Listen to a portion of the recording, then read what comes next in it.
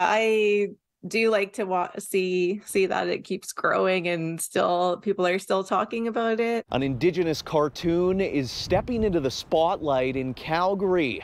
The Blackfoot Language Animation Project is a series of short animated features which share and teach Blackfoot expressions. As the success coordinator on the project, Sandra Lamouche highlighted the importance of accessibility. That's one of the things that we was taken through you know residential schools and stuff like that. So making it accessible to those of um, our people and not only our people but everyone. 29 episodes will be shown at venues across the city as part of calgary's festival of animated objects.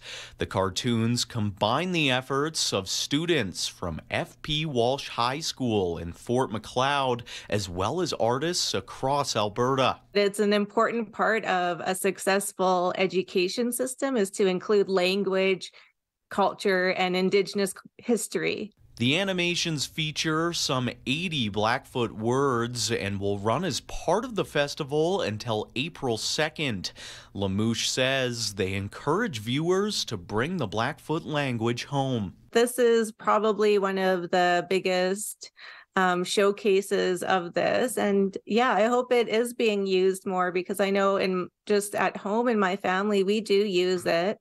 And it's um it's fun. The Blackfoot Language Animation Project was funded by a series of grants, including the Indigenous Languages in Education program.